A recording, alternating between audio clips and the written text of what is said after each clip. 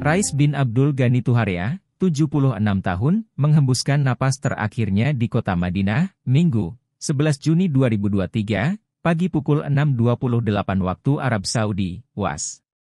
Rais berhaji bersama istrinya, Siti Raja Tuharia.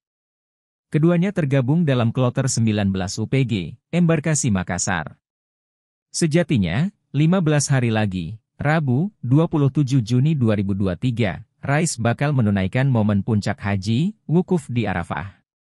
Ketua PPIH Dakar Madinah, Zainal Mutakian menyebut, seperti 47 jamaah yang wafat di Madinah dan Mekah, sebelum haji, adalah syahid haji.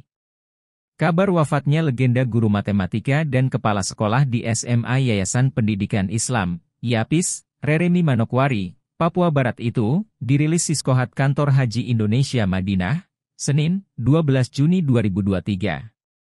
Jenazah dimakamkan di Komplek Pekuburan Baki, sekitar 100 meter dari Masjid Nabawi.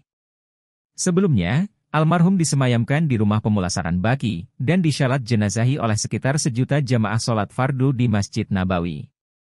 Sahabat almarhum, Dayat Alhamidi, mengenang almarhum sebagai sosok tawadu, rendah hati, tegas berjalan dalam kebenaran.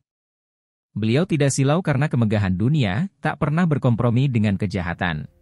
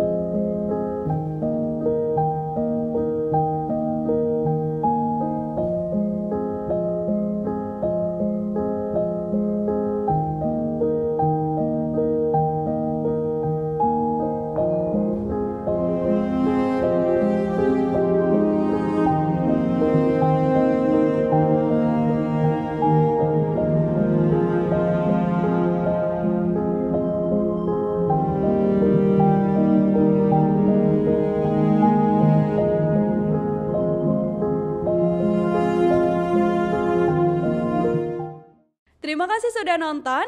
Jangan lupa like, subscribe, dan share ya.